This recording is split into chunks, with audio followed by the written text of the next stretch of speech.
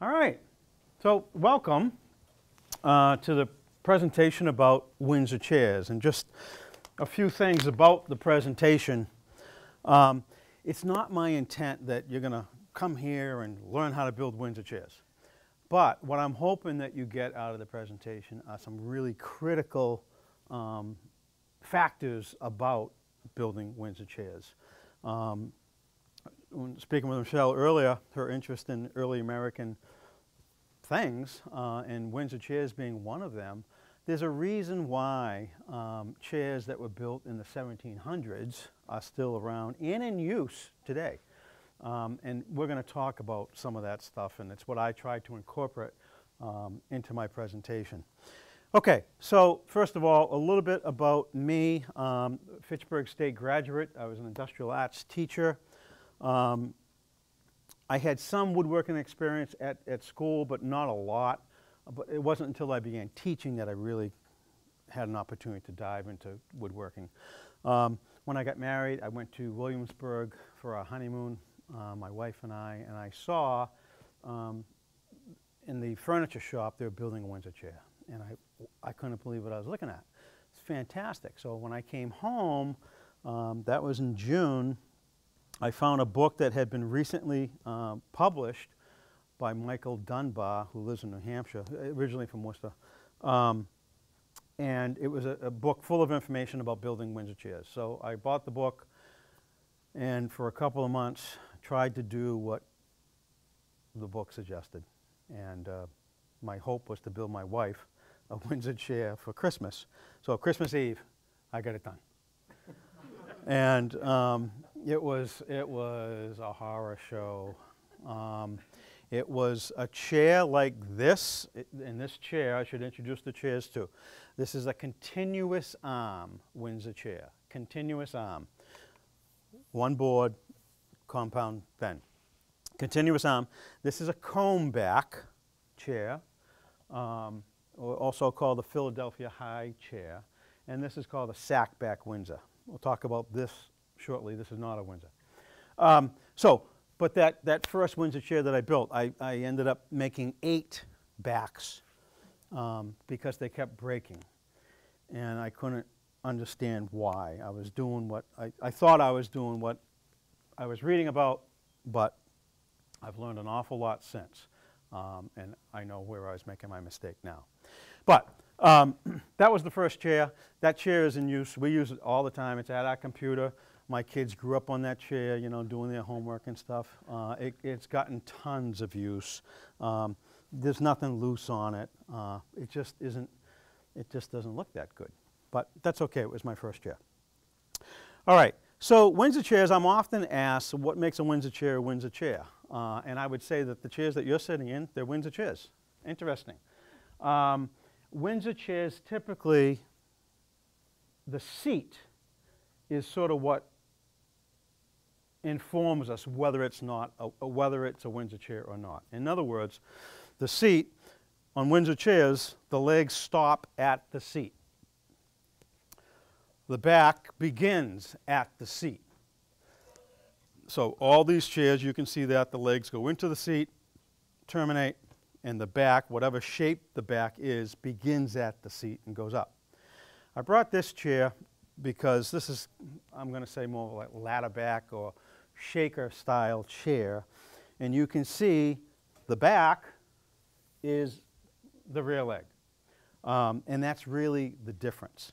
There's a lot of similarities between this chair and all the Windsor chairs in terms of how it's constructed. Um, but in terms of you know, how we define Windsor chairs, there is a difference. So my Windsor chairs, uh, and, and chair makers will do it differently, but my Windsor chairs uh, almost always consist of three species of wood. I have pine for the seat, and I chose or choose pine for the seat because on all my chairs, you can see, hopefully you can see with the right light, that the seat is saddled or it's sculpted. And pine is a, is a wood that's relatively easy to sculpt. Uh, another wood would be butternut, uh, poplar, basswood would be a good wood to choose. Um, but I, I, typically use pine, and I buy pine um, boards like this, 18 to 20 inches wide. I don't want any knots. Um, and the, the biggest struggle I have is finding this wood because it's difficult to find. So when I can find, you know, a supply of it, I typically buy the supply and I'll have it, you know, I, I'll have it for 10 years and go through it and then I have to go hunting again for more pine. The other wood that we use, or I use, is sugar maple uh, or hard maple. And I use hard maple for any piece on my chair that's turned on the lathe. So the legs are all turned on the lathe. My arm posts are turned on the lathe. Um, and sugar maple is just, it's, it's a great wood uh, to turn with, especially green. And when I refer to green wood, I'm talking about wood with freshly cut, very high moisture content. Um, so maple is a great wood to turn, uh, and then once it, once it dries, it is very hard and very, you know, very durable. The other wood that I use um, on almost all of my chairs will be red oak or white oak, and that's what I want to start talking about. So um, all the wood, other than wood for the seat, um, comes from a log. So I buy my logs, most recently I buy logs in a, in a small mill in New Hampshire. And uh, the last log I bought, I was showing Tom a picture, it's about a 19 inch diameter. Um, I cut it to just a little bit over seven feet, um, just so I could fit it into the truck. Um, and that's what this piece came out of. Um, so as soon as I get a log home, um, I split the log open because I never know what I'm going to get inside the log. I mean, I, I've learned to um, analyze the bark, and you can tell a lot from the bark, but uh, until you open it up, you really never know everything that's there. So I'll split the log in half, and that's just with a maul uh, and a wedge, or wedges.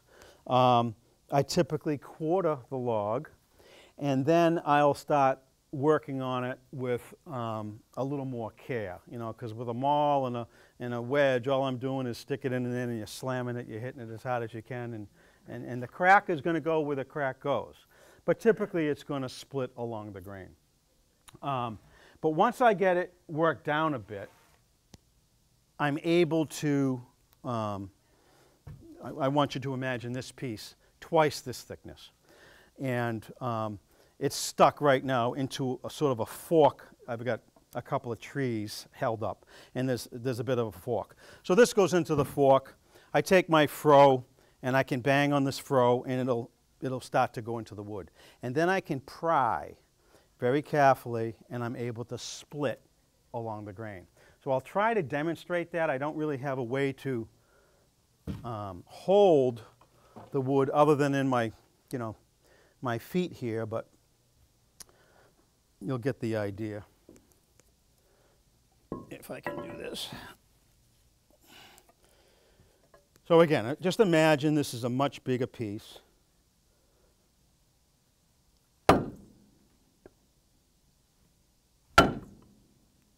I'm trying to split this or start a crack right in the middle.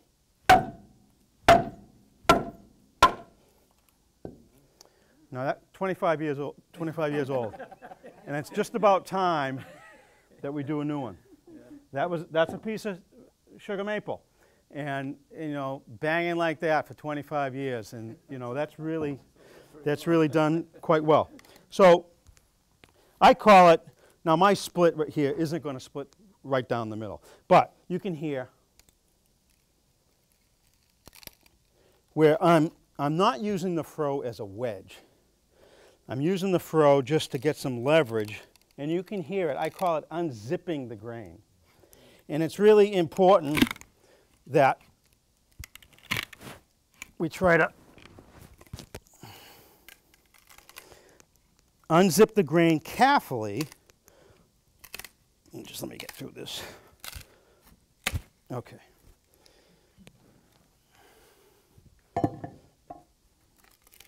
And again, that split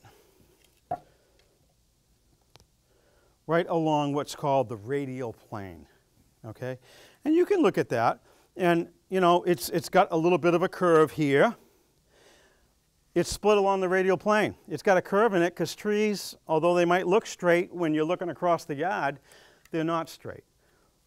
Um, but once I have this split along the radial plane, I have, I'm, half the battle is, is there. And when I say radial plane, hello. I'm just going to wet this so we can see it a little better. Okay, so radial plane. Think of this. Here's, you know, as we've all looked at the stump, right, with all the all the annual rings. So here's the bark. Here's the center of the tree. All right, and I want to show you two things. One is the radial plane, or the rays, and the other is what we would call the annual ring. So the annual rings are running this way. You can see those white rays. Okay. All right. So very important. The rays are running this way. The annual rings are running this way. All right. So this piece here, whatever, four feet, five feet, was this, and we split it right along the radial plane. And again, it's not perfectly straight, but I have a, a- roughly a flat surface. And from this, I can take tools like draw knives. I typically use a much bigger draw knife, but this is a nice one for these presentations. It's small. Um, I take a draw knife, I put this in a vise. It's usually too big for my shaving horse, and I'm able to draw a knife across here. And I, you know, anything that is curved, we'll just follow that, but we'll smooth it out. Okay. So that's how we begin um, on our chair pots. What we're trying to do is avoid something called grain runout. All right? So, this is just a piece of oak like that, just out of my shop. Uh, and, you know, I, I do a lot of cabinet work too uh, with machines and saws. So here's, I've marked the grain right here, and you can see where the grain is starting right there, and it's running right out to the edge. And if I turn it over this side, it's running out to the, the edge there. That's called grain runout, and that is going to weaken this piece of wood. Everything that we do in, in the type of chair building that I do, we, do not, we want no runout. Runout is, is, is trouble. We split everything. We don't saw anything. When we saw, the saw ignores the direction of the grain. So we split everything and we try to exploit, you know, the characteristics of the wood to get the strength that we need. So my froe again. Oh, I'll take this piece. Yeah. So I'm going to do a couple of things here. And I'm sitting on something called a shaving horse. And a shaving horse is nothing more than um, a device. Um, we'll call it a vice. Uh, I can use my feet, put some pressure on this, and it will hold this relatively still so that I can have two hands on my draw knife, or if I'm using a spoke shave or another tool. Um, and it's a, it's, a, it's a great way to um, do woodworking. So I'm going to do a couple of things here. I am going to follow the grain on one side, and on the other side, I'm going to cut across the grain. And when I say across the grain, I'm talking about layers of grain. All right?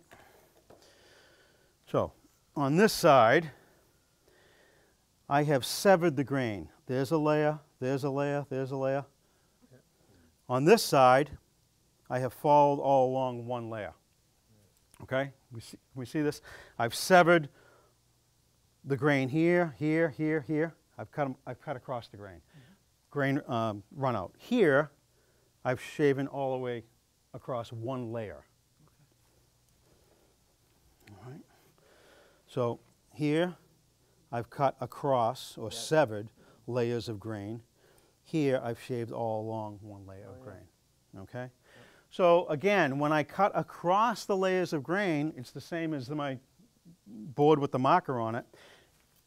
It's grain runout, and that's, a, that's not a good situation.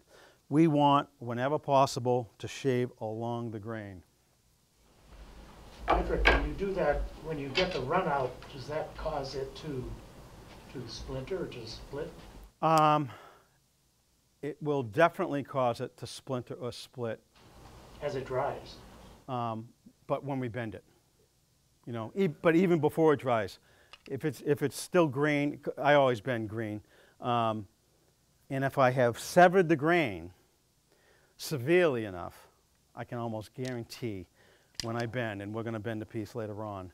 Um, and I'll tell you right now that this morning I was working on that piece. I know the side that we're going to bend on, it, there is some slight, it's been severed slightly.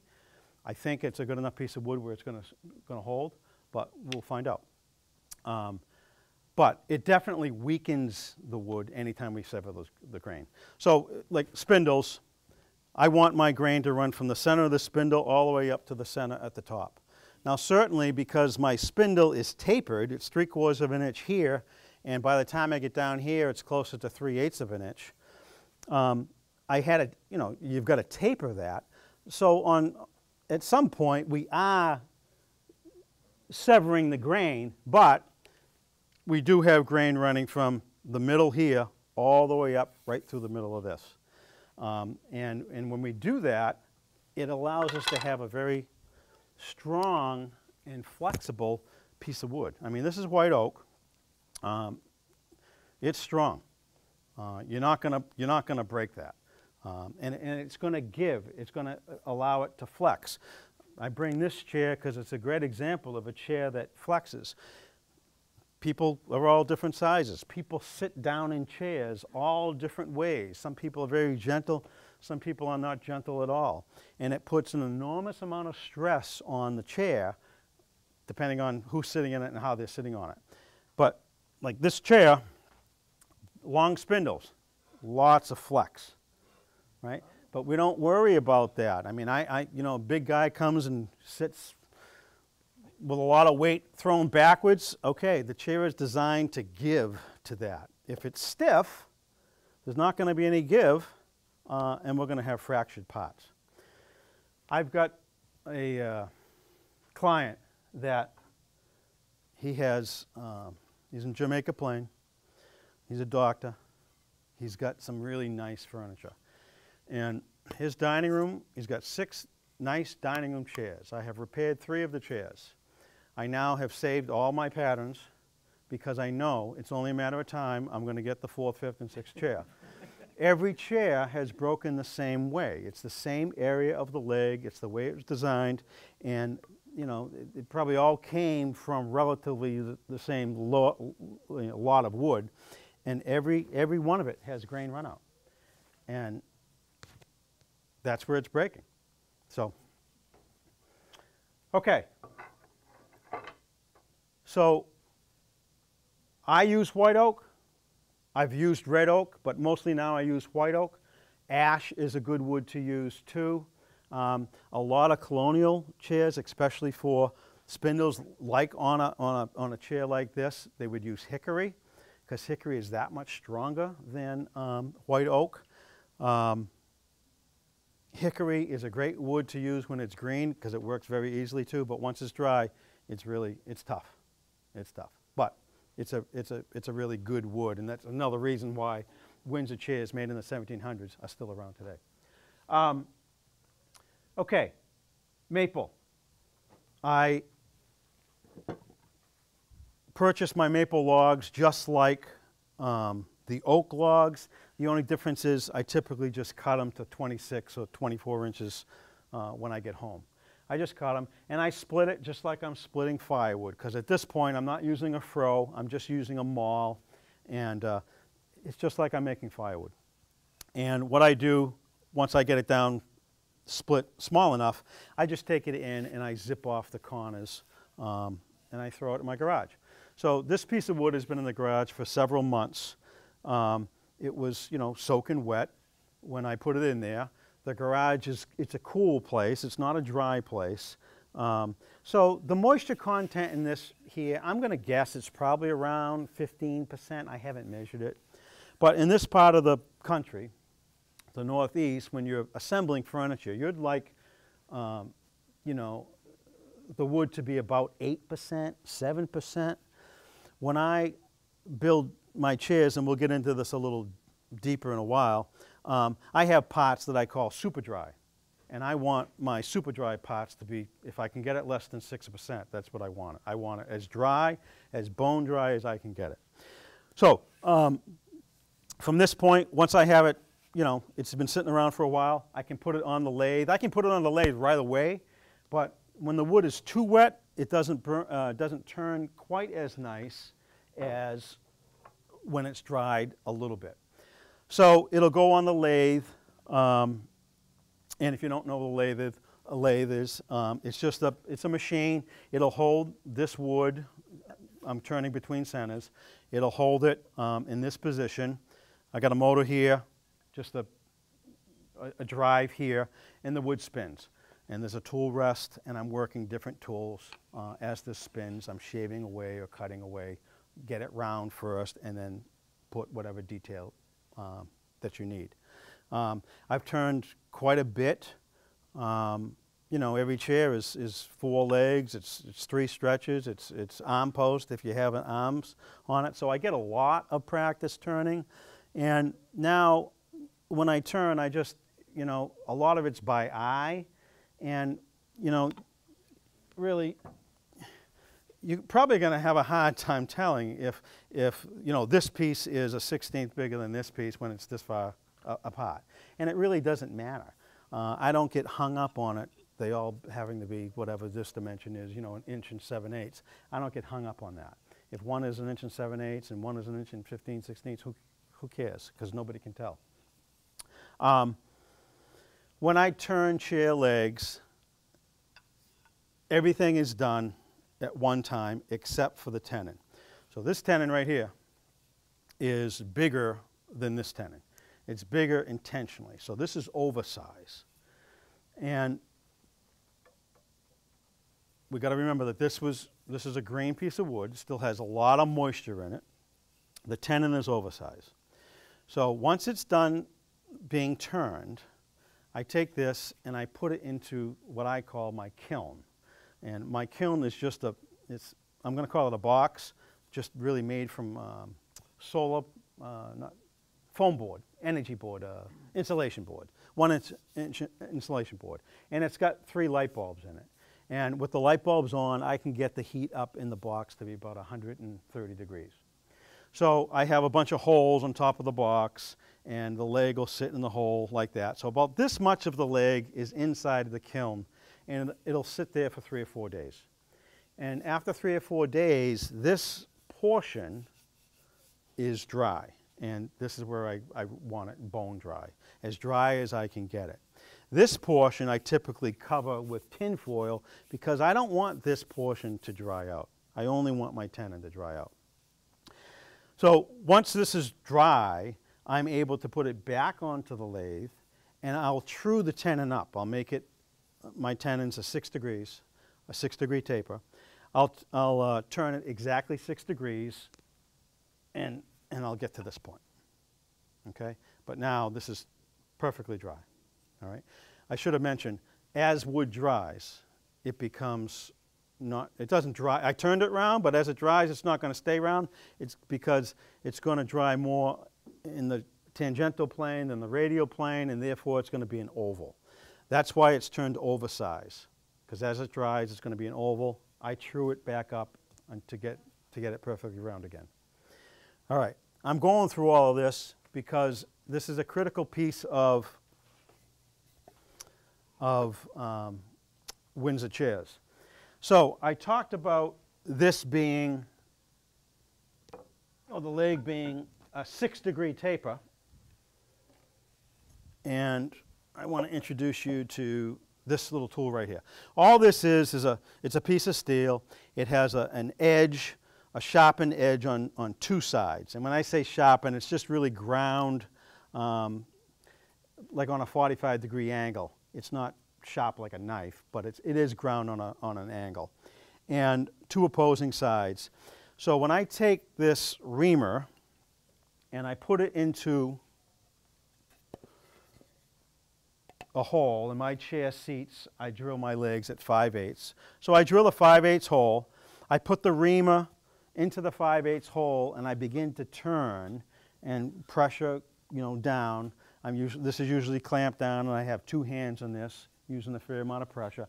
And what it's doing, it's grinding away the inside of the hole.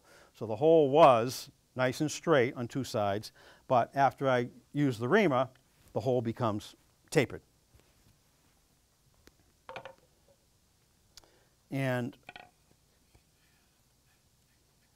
I got a six degree taper here, six degree taper here. I put the, the two together. I just have to grab my little hammer here.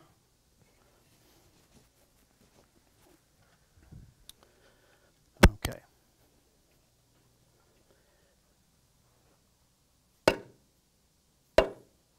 Okay.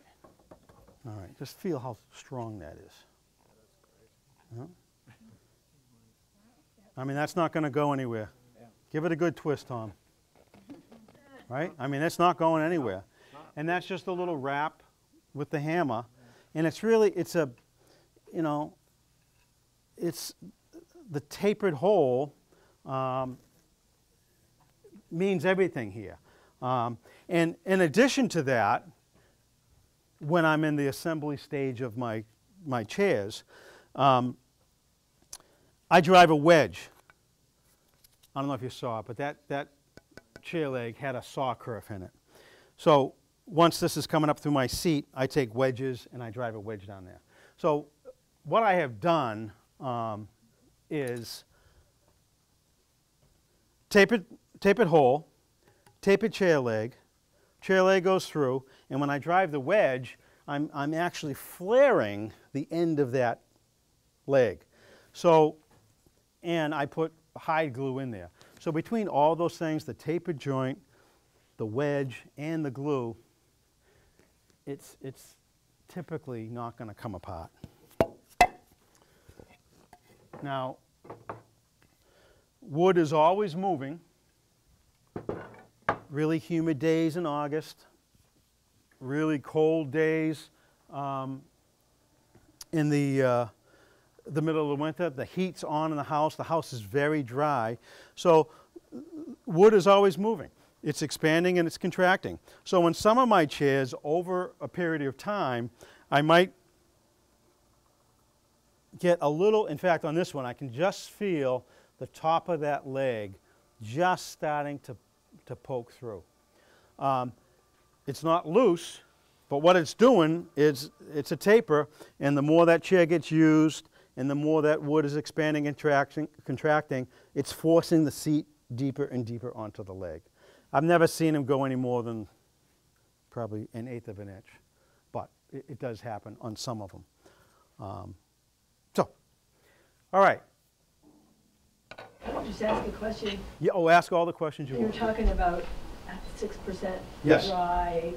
What kind of thing do you have to tell you that? Well, what you can do, uh, there's a couple things. Th- There are meters out there. You can use a meter, digital meter. It'll tell you what it is. Um, they're really expensive, and I don't have one. I have borrowed some in the past when I needed to know specifically. But one thing that you can do, I know my cellar is very dry. So if I have wood, I can weigh the wood, record it every day, continue to record it until the wood no longer loses, uh, loses weight. When it stops losing weight, I know that the wood is at the same moisture content as my cellar, which is super dry. So that's, a, that's a, probably the easiest way to, to explain it. And the more you do it, you can take, um, especially when I'm building this type of chair, I take these rungs and I hit them together. Uh, when you first put them in the kiln, take two rungs, put, hit them together, it's going to be a thud, thud, thud. As that wood dries out over a period of days, the tone is going to change significantly. And it, it ends up being a fairly high ring to it And again, it's through experience, but I can tell, I can tell two pieces of wood which one has more moisture in it than another when I'm at that stage. So, yeah. Um, okay, so we've talked about oak, and, and we've talked about how we need to uh, follow the grain, grain runout, um, avoid grain runout. We've talked about maple, turning the, the, the legs. I need to talk about how I stock the seats. So what I typically do on my chairs is I, I make half patterns. And this pattern actually is for this chair. And it has all kinds of information on it. It's got these funky lines going everywhere. But, but they all mean something to me. And um, what I'll do is I'll just trace the pattern onto the wood, one half, then the other half. But I refer to the pattern because the pattern is telling me things like um, the angle on all these, all these chairs, all the chair legs, it's a compound angle. Uh, and it's a compound angle because when I look at it from the front, it's one angle. When I look at the, the chair leg from the side, it's another angle, and they're different. And it can get very confusing if you want a, you know, a 17 angle, a 17 degree angle from the front, but you want it to be a 24 degree angle from the side, and you're trying to do this with a couple of bevel squares, it's maddening. It's, it's very confusing, and it's, it's, it's a great chance to make a big mistake. So I try to minimize the confusion, and I do that by what I call sight lines. So this sight line right here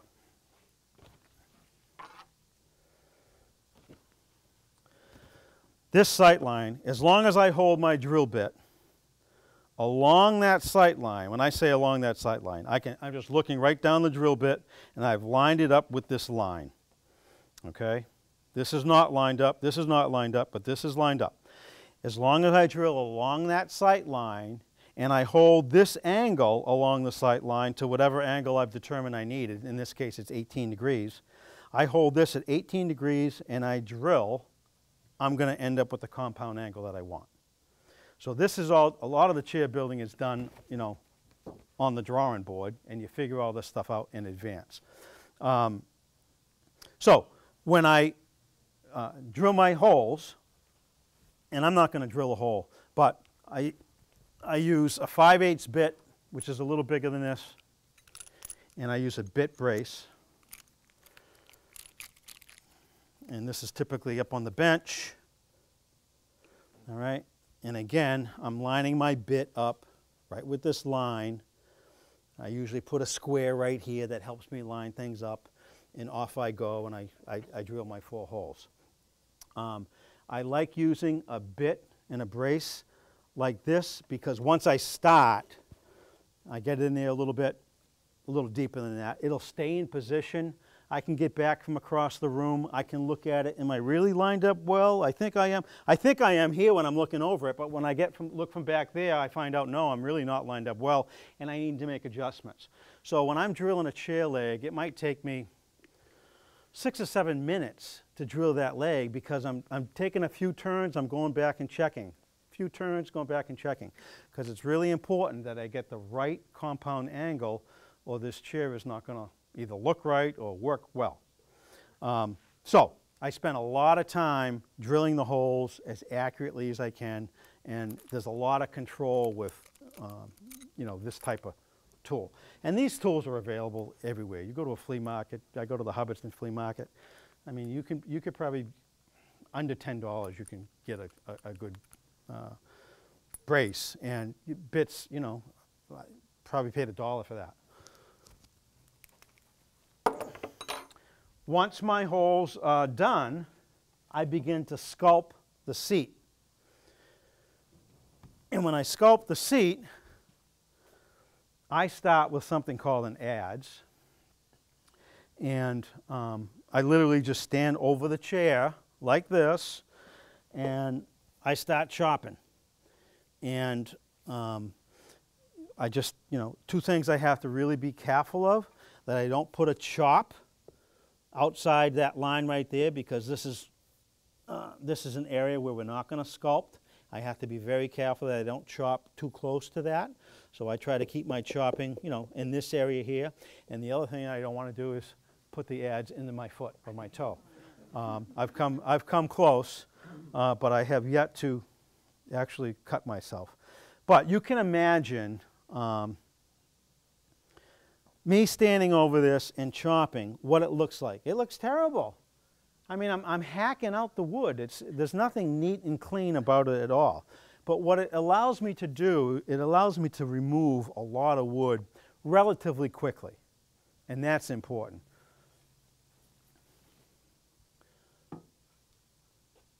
Once I have the, the, the chair hogged out with the adze, and again, this is typically at, at, at this point when I'm using my, the next tool, which is a scorp. This is up on my bench. Um, I'm able to really smooth out and to be, begin to refine uh, the shape of that seat with this tool right here. This tool is best used, it's, think of it as a draw knife that's just sort of bent in a circle. Um, they're called scorps, some people call it an, an inshave, but when this is dragged across the wood or pulled across the wood diagonally to the grain, it, it cuts beautifully and it, it removes a lot of wood quickly.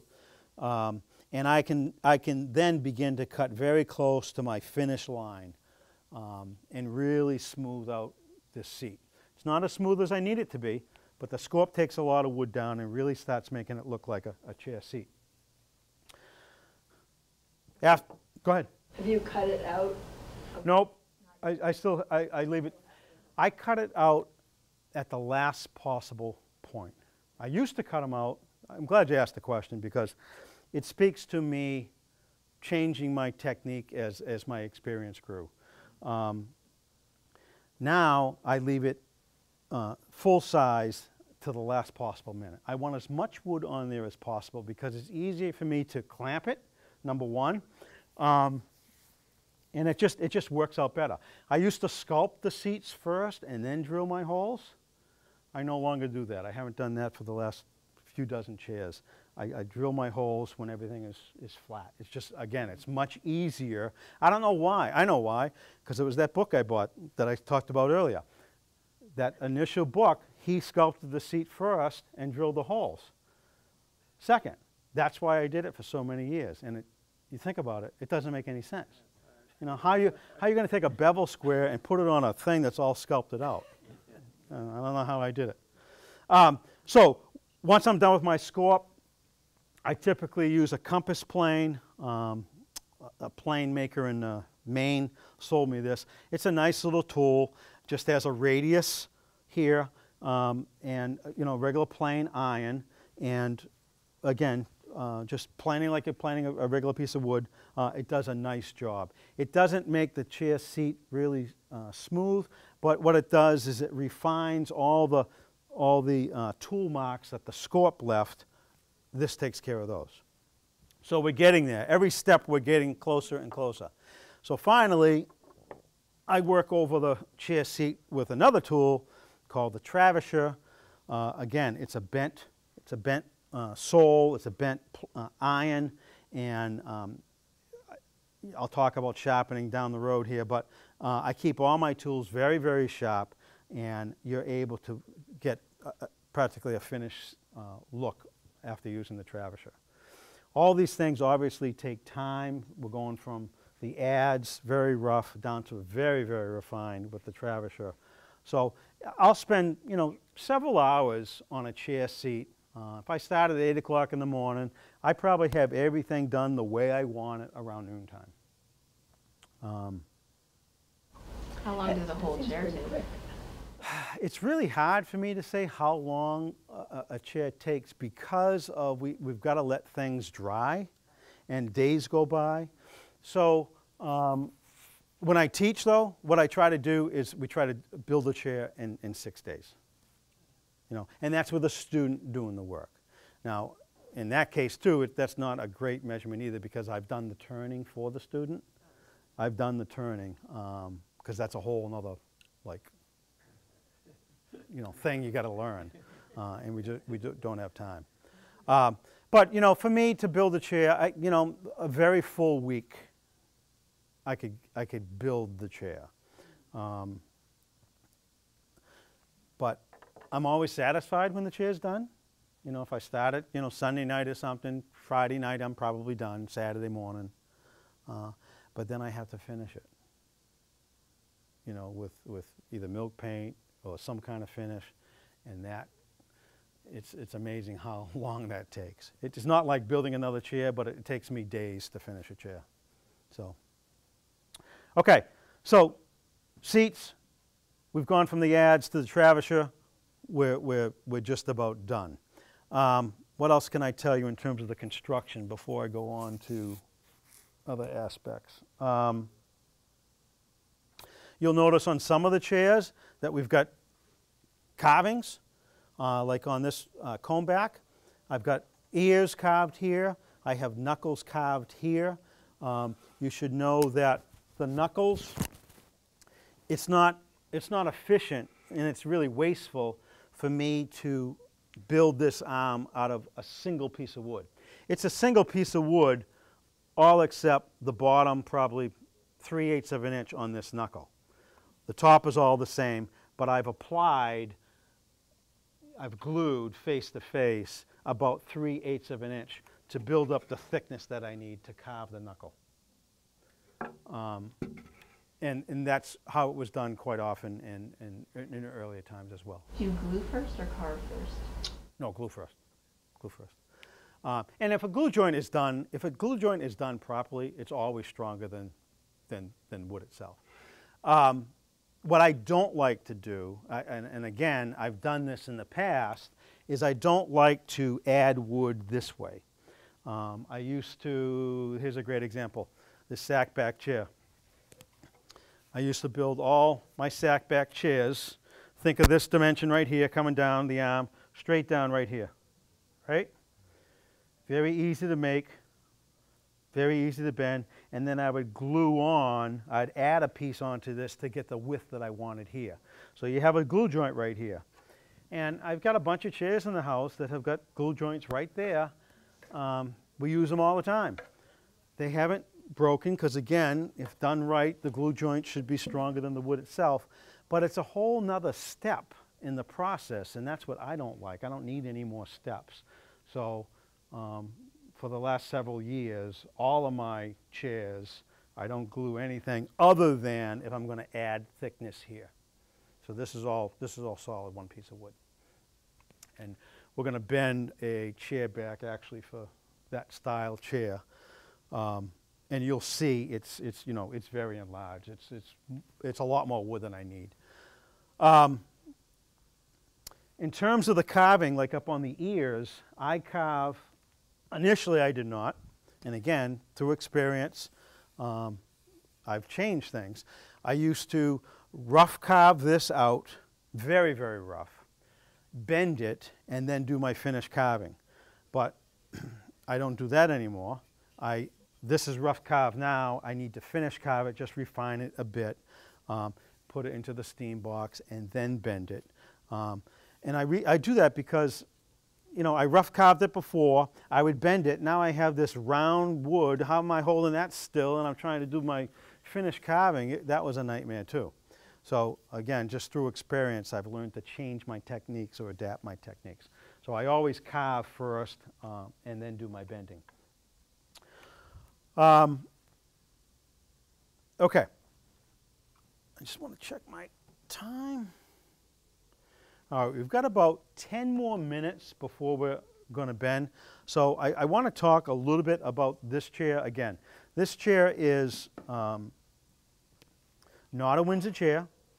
The legs and the back are the same piece of wood. But a lot of the techniques that we use for Windsor chair building, we're going to use in this type of construction too. So all the rungs, all the rungs, well, all the parts are split from a log with using the froe um, and shaven with a draw knife, um, finished with a spoke shave. And I was telling Tom earlier, all my rungs, just like the chair legs on the Windsor chair, are super dry. These are super dry. Not only are they super dry, Um, the tenons, which go into this piece here, one inch, the tenons are about 10 thousandths of an inch bigger than they need to be. I'm going to be boring a 5 eighths hole, so I've got um, my tenons with .625, that's 5 eighths, but plus another 10 thousandths.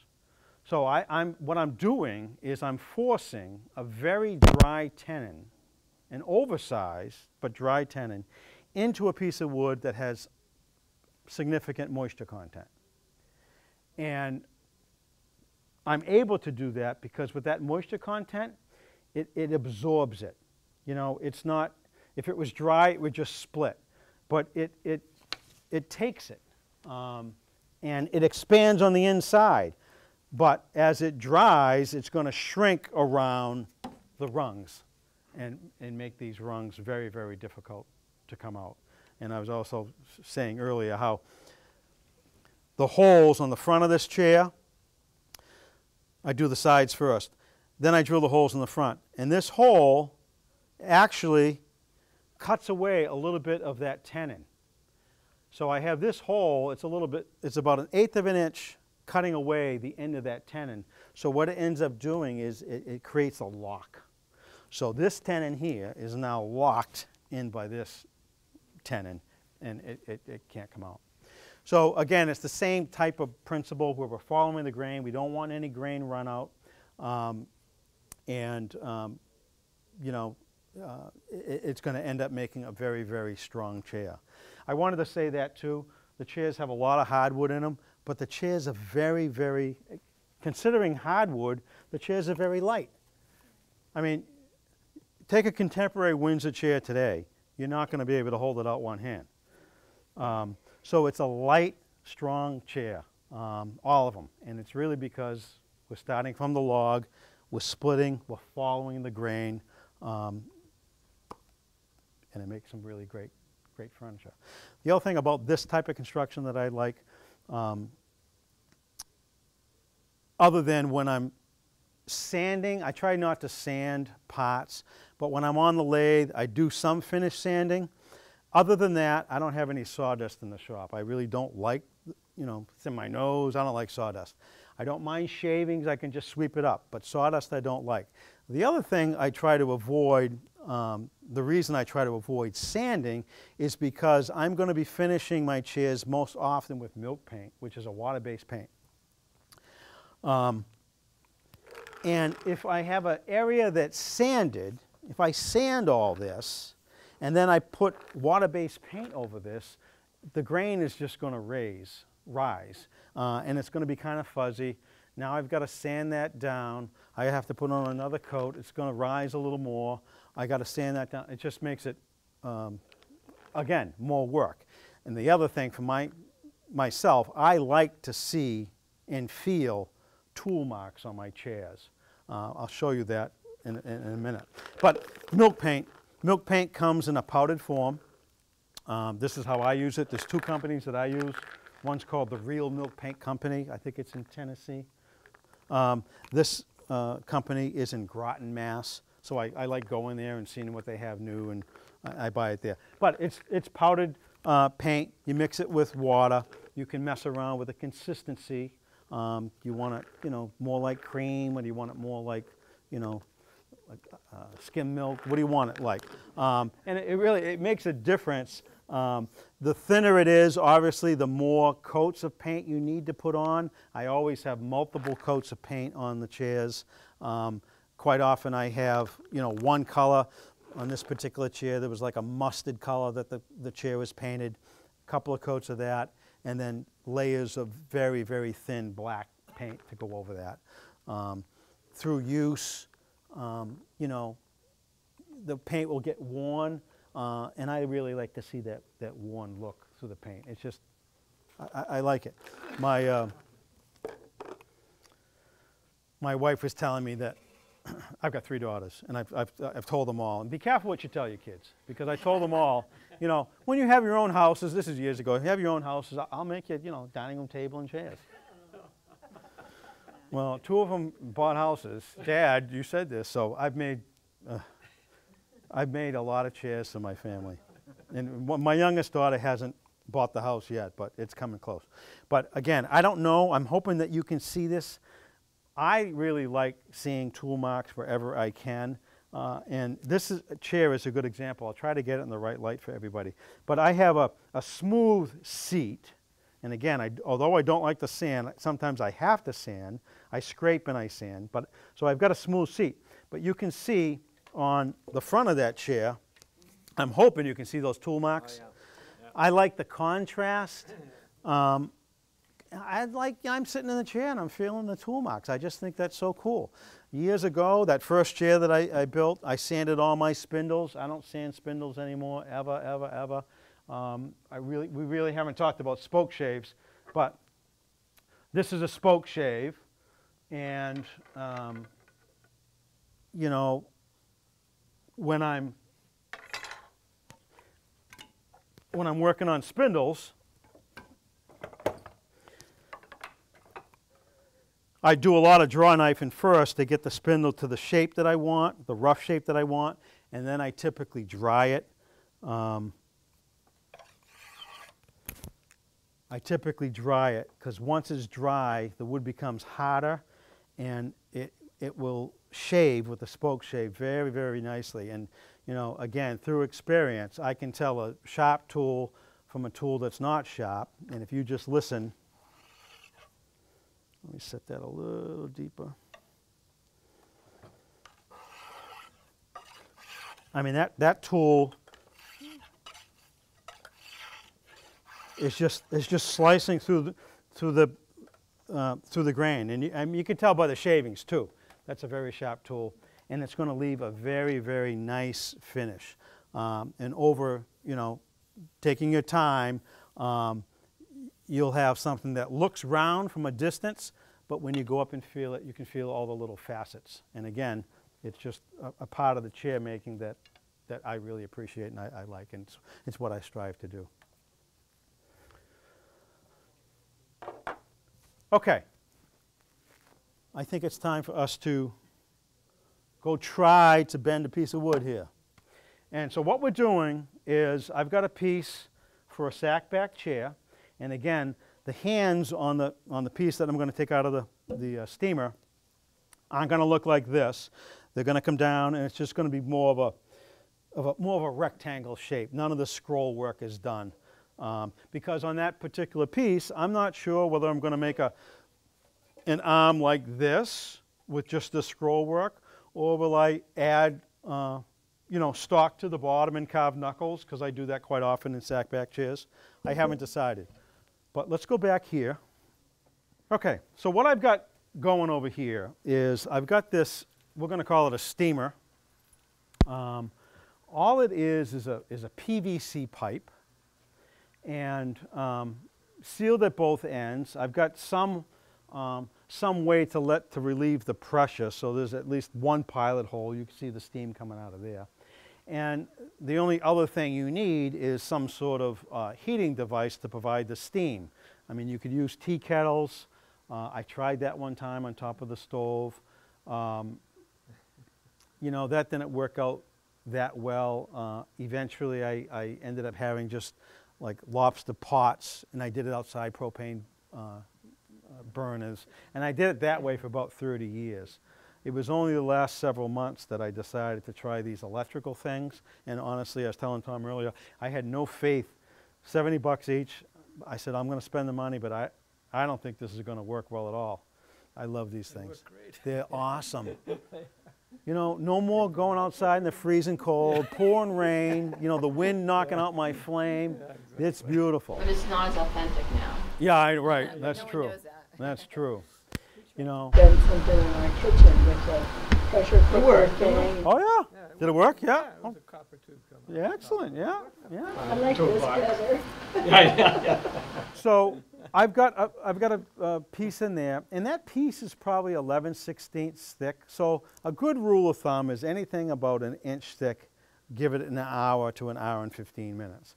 Um, I always steam my pieces for about 50 minutes to an hour, even if I'm going a little over. I'm not worried about, I'm not going to like overcook the wood. Um, the wood is, the woods are, it's full of moisture, right? It's green. Now, it doesn't always have to be green. You could, um, you could have a dry piece of wood, um, and if I was doing that, I'd probably just steam it a little longer. You may reduce your success rate by having a dry piece of wood, um, but it's certainly, certainly able to bend uh, wood, you know, that you buy at, you know, a piece of oak from Home Depot. If you find something with some pretty decent grain, you, you could probably do that. But going from a log, and again, following the grain, which is critical ah. to the bend that we're going to make, that is really the key. Still, doing that, there's no, it's not 100% guaranteed that this is, is going to work. So I always tell people that.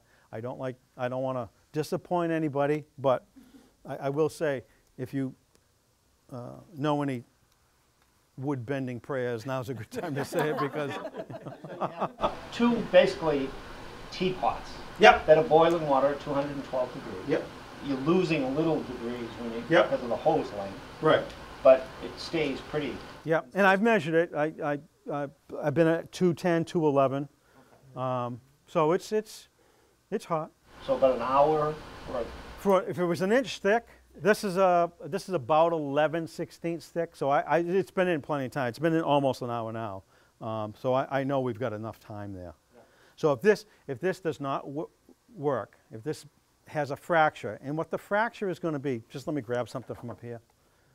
This, the, what the fracture is going to be, it's going to be this, because again, if you think of, if you think of the wood, and when I talk about following the grain, um, it's looking this way, and these are those annual rings running the long way, right? If I have, if, if I haven't run, if I haven't severed anything, the, this is all one layer of grain, and when I bend, I'm probably going to have a, a very good chance of it being successful.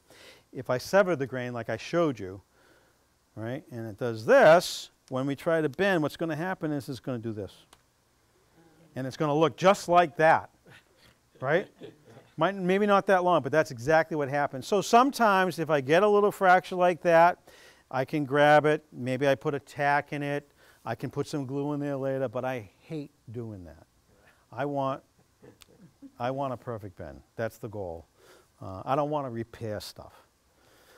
Now, I, br- I bring this net because just a fishing net that I was making a bunch last spring.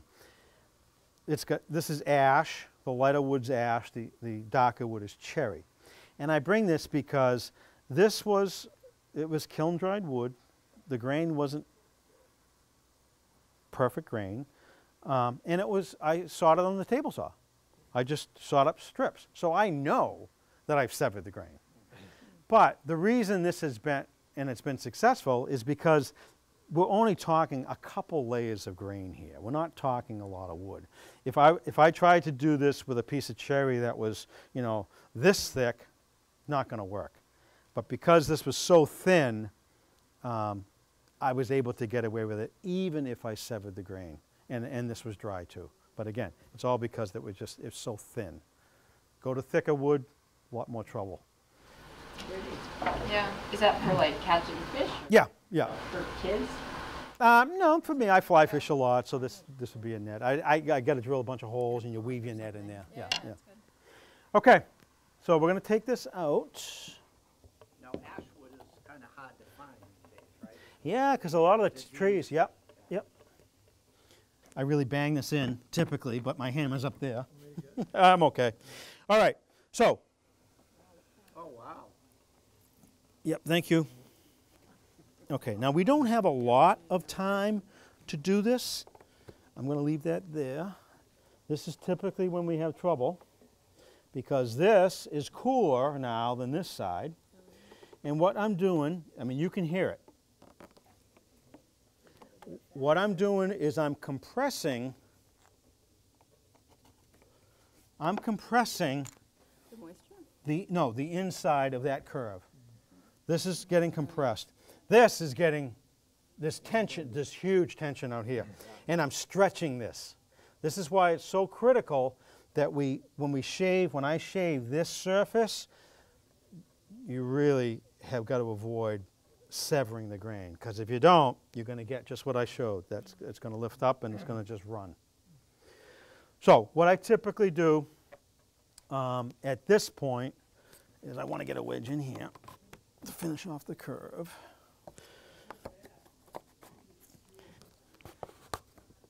Okay, and the other thing that I like to do, because I want, th- I know this is going to be the top of the seat, or the top of the arm. Um, I've made this as smooth as I can just in case I glue um, to add some thickness for my knuckles. So, and I haven't done that up here. So I want my chairs, I don't want my chairs flat, and I definitely don't want them to turn in like that. I want the handles to turn out just a little bit.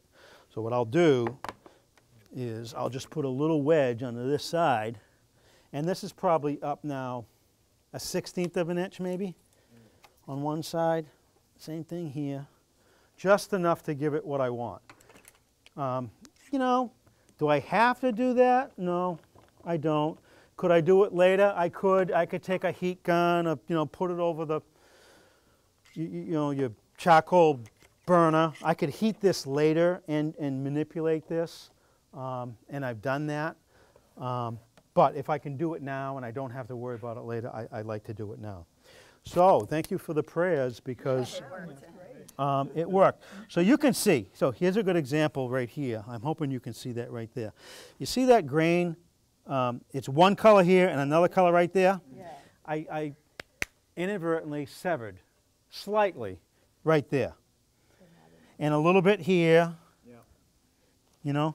But overall, it's not bad. And you know, you can just look right here. I- mean, this is pretty vivid. You can see the grain lines going parallel right to the edge. And that's what you're looking for. It's when, you know, that, that piece I showed where you had the run out. If this grain's running out like right here and just running out, again, that's when you're going to have trouble. So by shaving the pieces, uh, splitting them and shaving them and following the grain, you reduce the possibility of um, the piece fracturing when you bend it. No guarantees, but I'm going to say the last 100 pieces of wood that I've tried to bend, uh, it's probably 98 or 99 successes.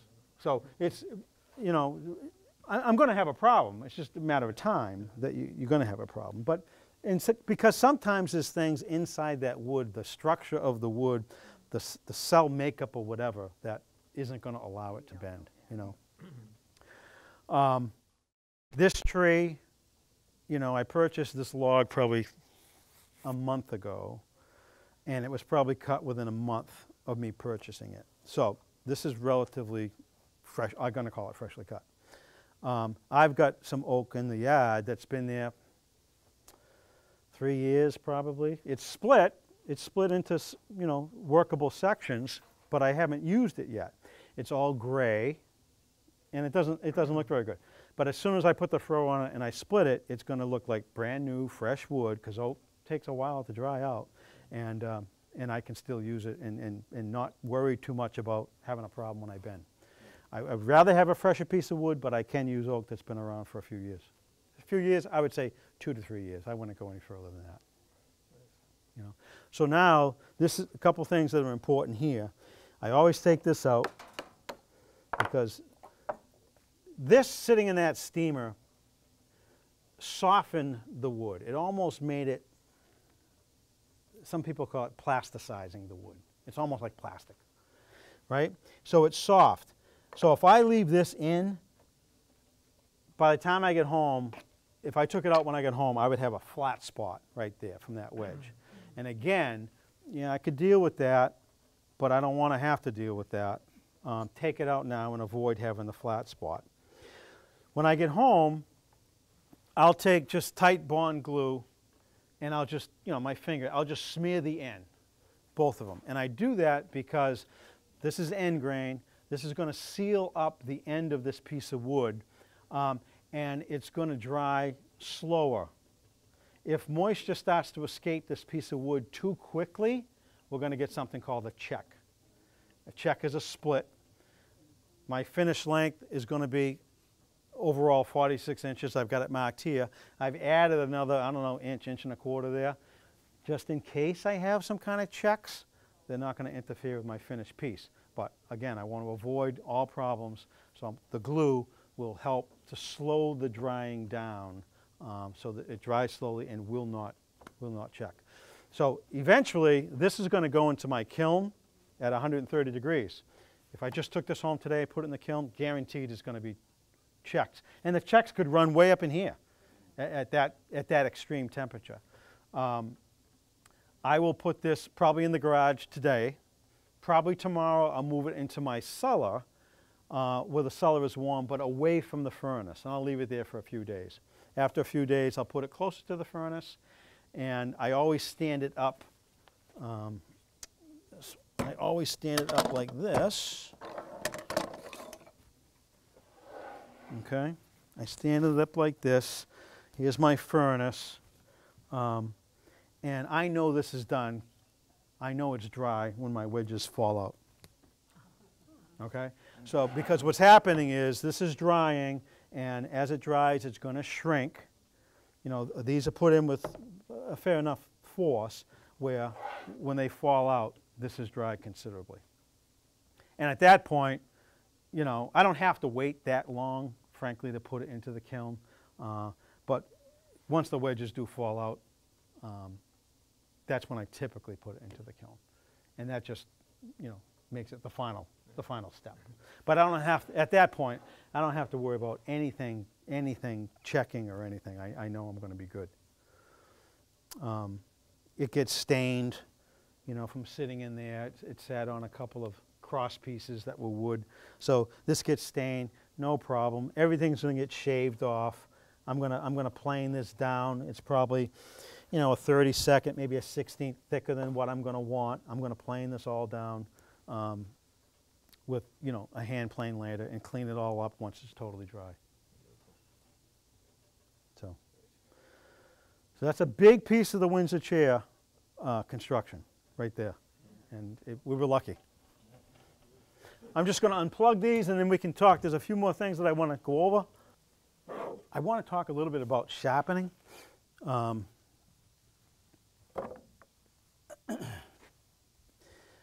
because again, it's a critical, critical step. I, I have found that people that you know take a hand plane and they they're fighting with it and you know they end up not liking woodworking. That's their first experience of woodworking, taking a hand plane and trying to plane something, and, and it doesn't work out well.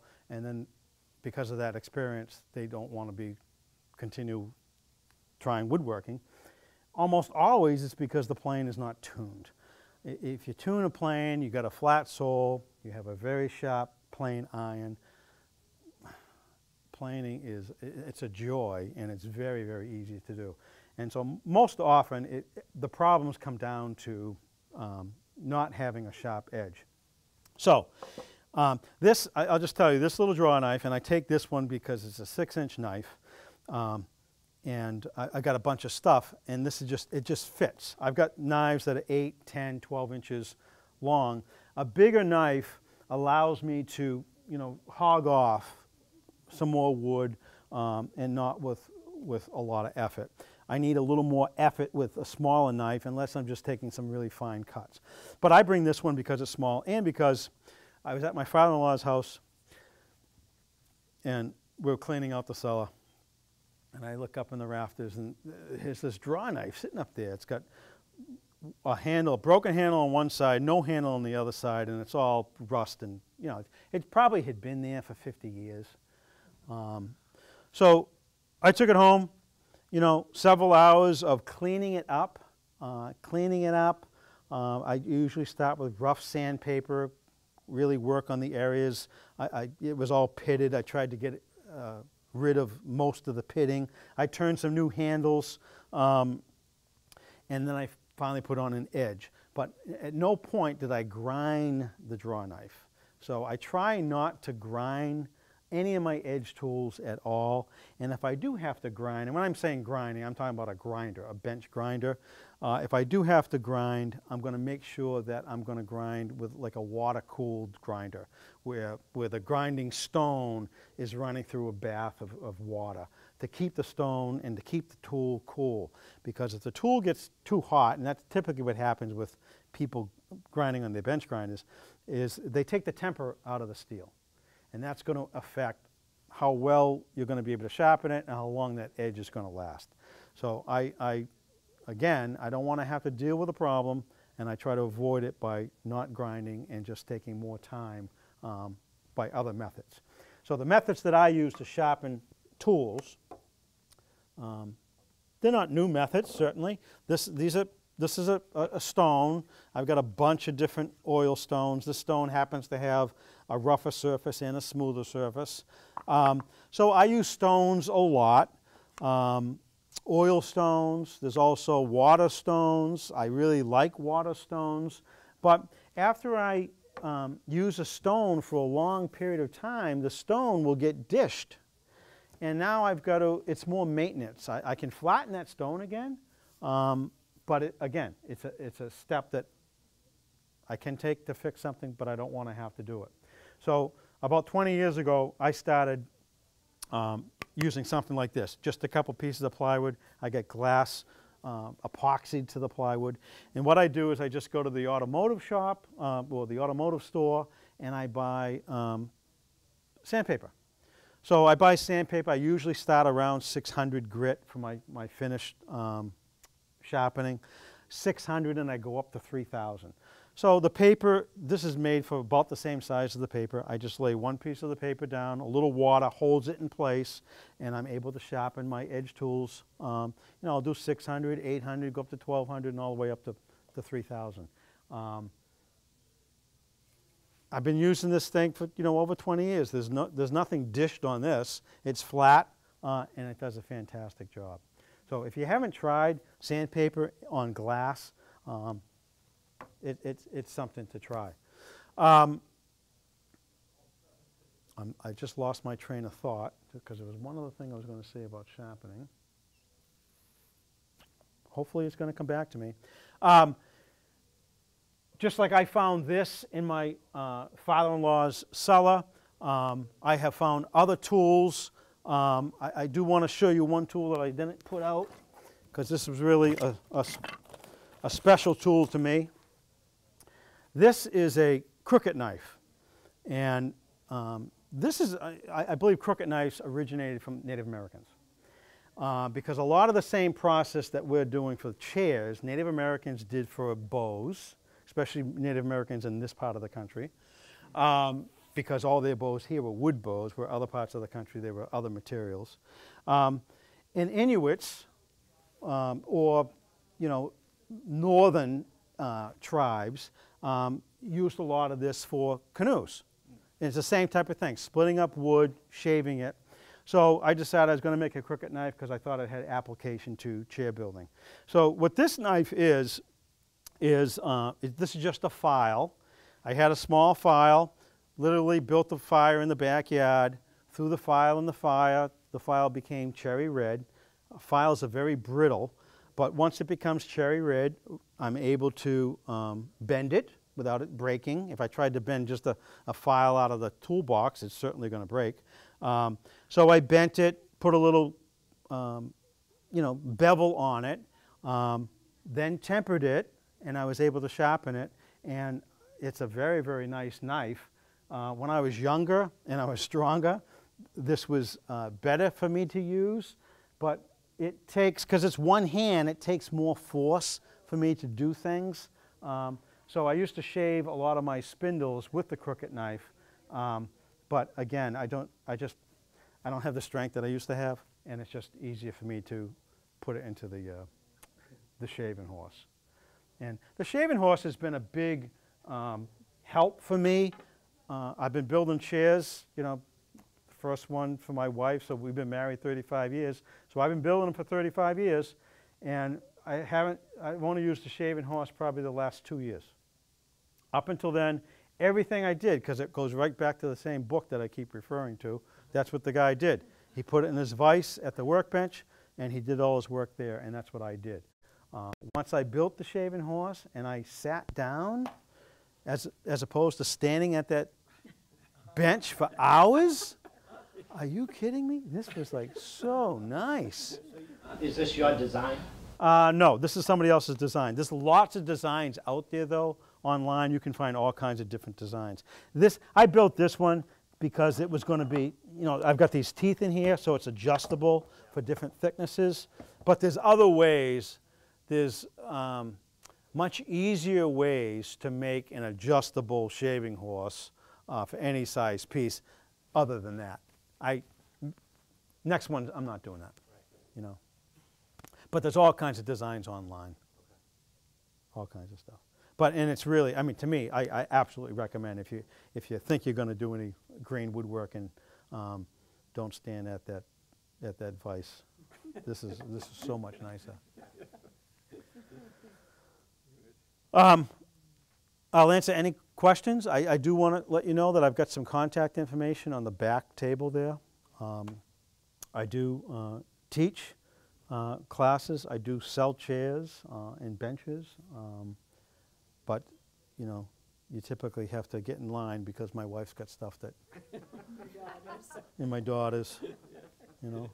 I, ha- I got to tell you, my, my, well, two stories about the girls. My wife was with my oldest daughter the other day um, down in Connecticut, and, she's, and my daughter said, Mom, the chairs, um, I don't, it, it, they're, they're bow back chairs. I don't have one here.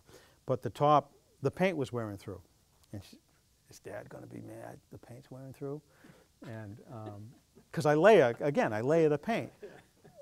When I see paint wearing through a chair, it means the chair's getting used. How, that honors me. You're going to use my chair so much that you're going to wear the paint through? That's awesome, you know?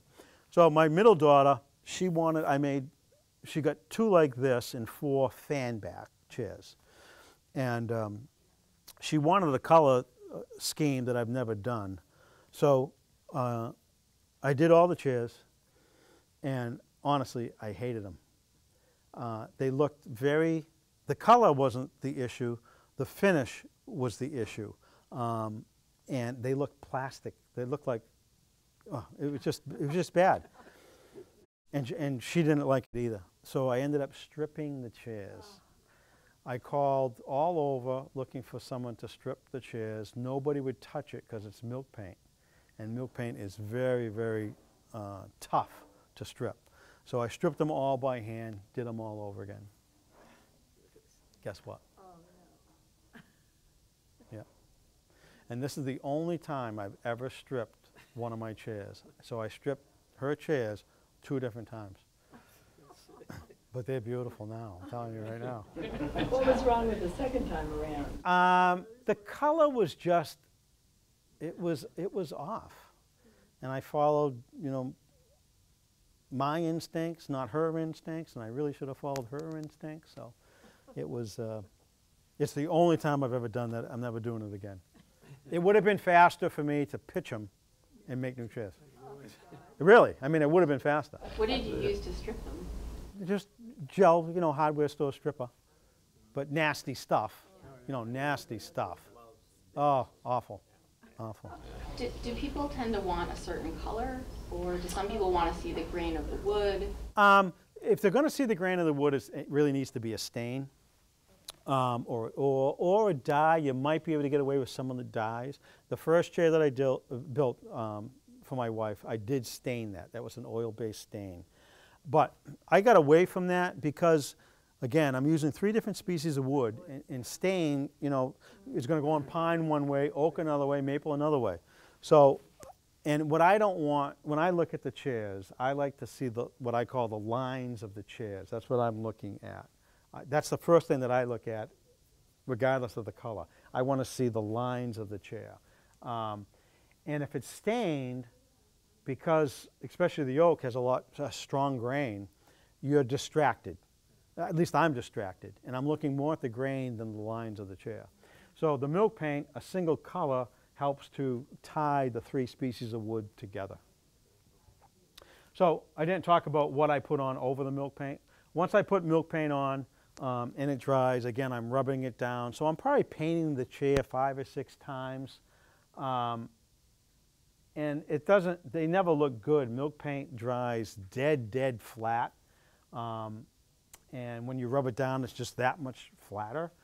But then I will put on linseed oil um, or like a, uh, why can't I not think of the name?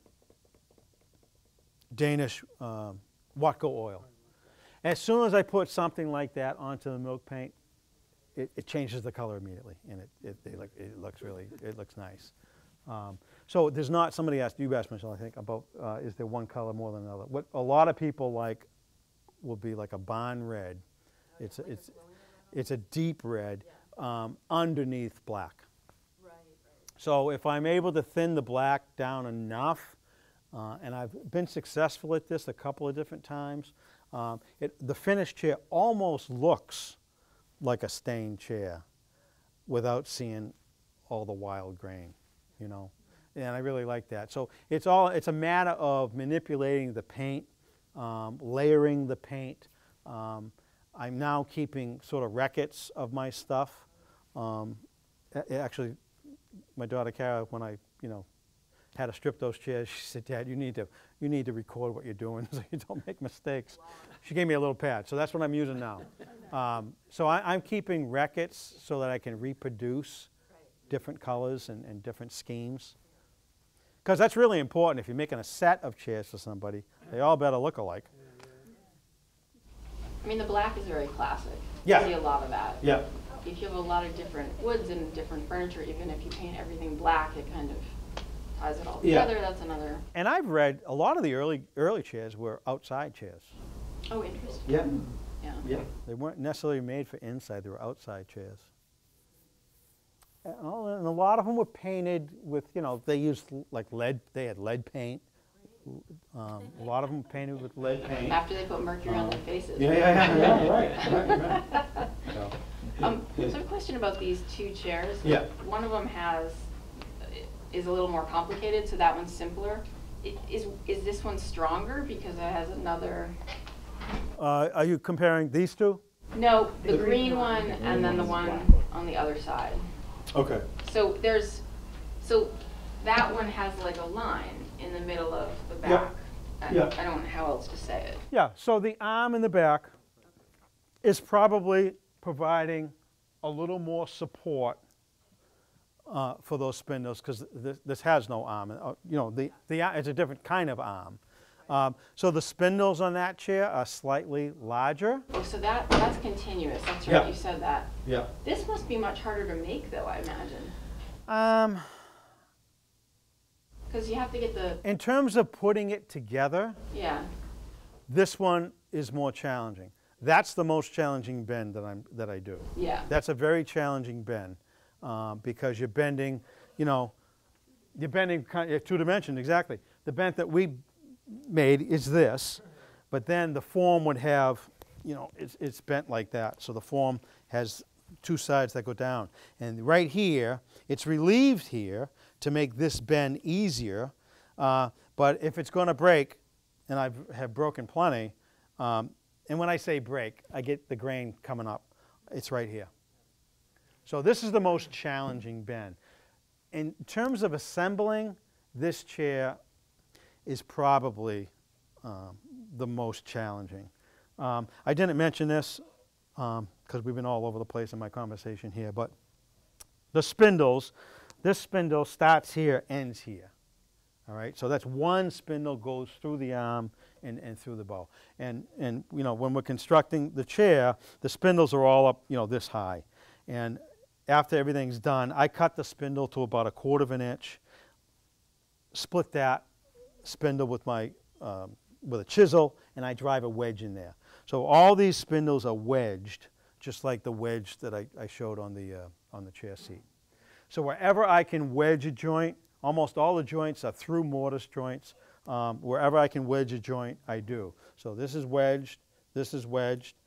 This, this right here is wedged underneath, and this is where it is very difficult for me to get my chisel underneath there to split that. It's very difficult to get a wedge in there and to hit it with a hammer because everything's in the way.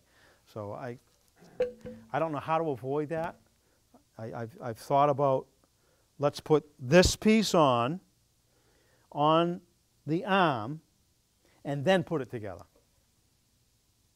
I don't know if, because I could do that.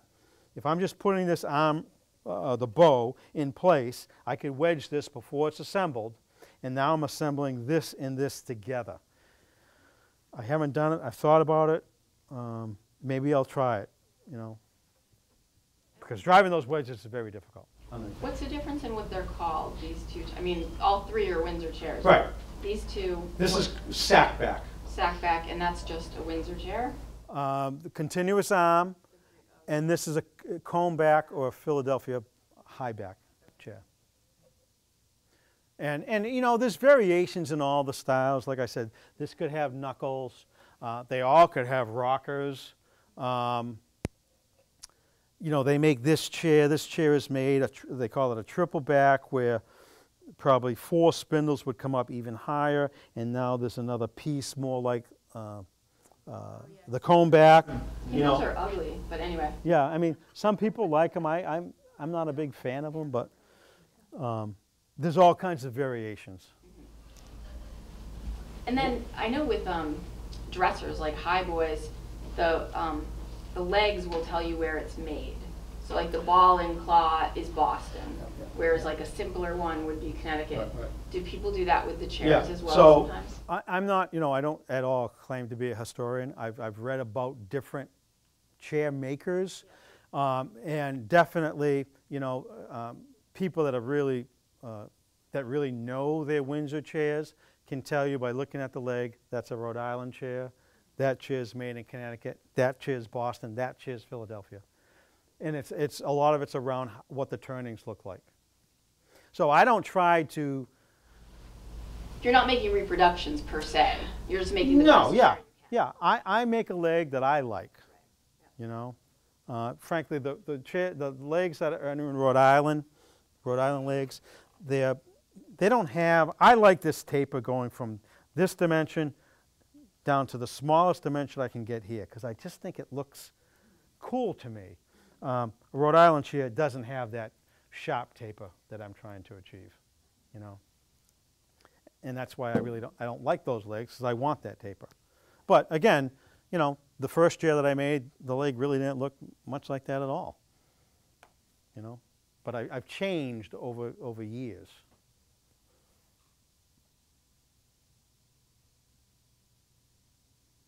So again, I don't expect you to go home and be able to build a Windsor chair necessarily, but there are books, and, and on, on my contact stuff, I've listed books. If you want to learn more about it, there are some good books. The best book is, is a guy, Peter Galbert. He was from Sterling, but now he's, um, I think he's in Rosendale now. But he is, he is one of the best chair makers that I'm aware of. Uh, really, really, he's really good. I mean, he's, he's an artist, number one, and he's just really good with his hands uh, and, and figuring out all kinds of techniques. Um, you know, different techniques, drilling techniques, shaping techniques that, that make the process that much easier.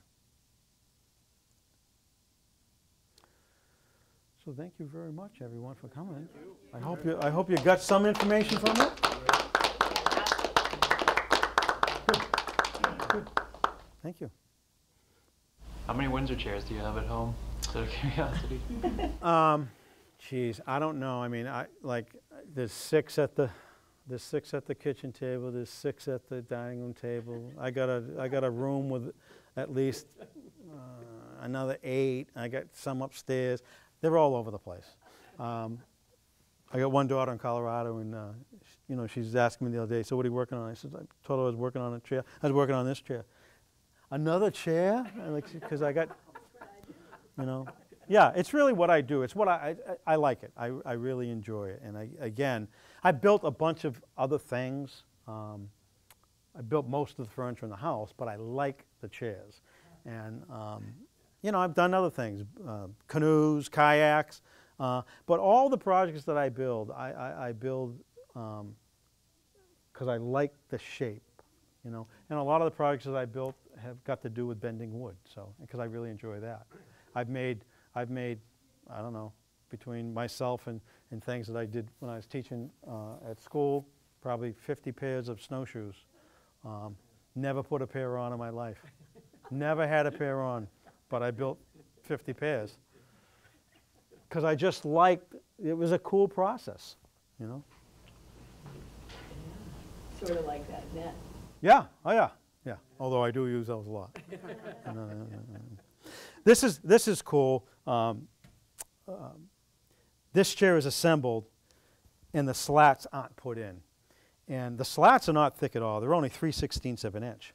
And what I did was I um, milled up my wood, same process though, and, and milled it up um, and then dried them. So they were flat and I put them into that kiln They made them super dry. Because what I didn't want is once I bent them and forced them into the mortises, I didn't want the slat then to dry and shrink because then I've got all these, I got a crack here, you know what I mean? I got, it, I don't want, I don't want, I don't want to look like I, I'm a sloppy woodworker. So um, I dried them and um, I forced them into the mortises. But what a wrestling match trying to get these in, um, especially the bottom one. I mean, a real, they only go in three quarters of an inch. But what a wrestling match trying to get them in. Um, but I did it. And, and then once they're in, this piece here is, is still relatively wet or green, and it continues to shrink. And, you know, where three days ago I had a slight crack, I have no crack now, and probably when it's dry, I'm not going to have anything. So you end up with some really, some tight joints.